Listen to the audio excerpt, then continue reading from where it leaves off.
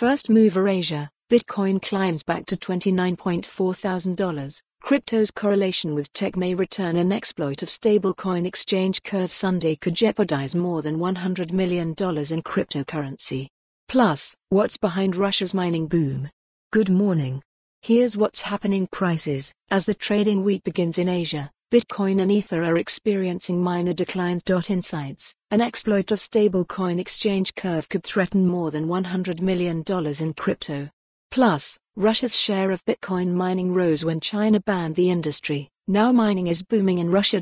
Prices Bitcoin hovers above 29k as curve exploit works its way through market as Asia opens its trading week. Bitcoin is up 0.3% to $29,415, and Ether is down 0.6% to $1,869. So far, the market seems to have digested an exploit in the Curve stablecoin exchange without further contagion.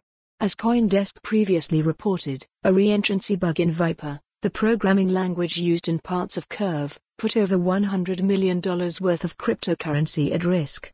Blockchain auditing firm BlockSec preliminarily estimated the total losses to be above $42 million. Elsewhere in the market, the Chia Network's Gene Hoffman said in a recent interview with Coindesk that despite a decoupling between stocks and tech stocks this year, Bitcoin and tech still have the potential for correlation due to ongoing mass adoption. The coin usually tends to trade as if it were a tech stock. The tech earnings around are mixed to positive, he said. There's no real force to break things one side or the other.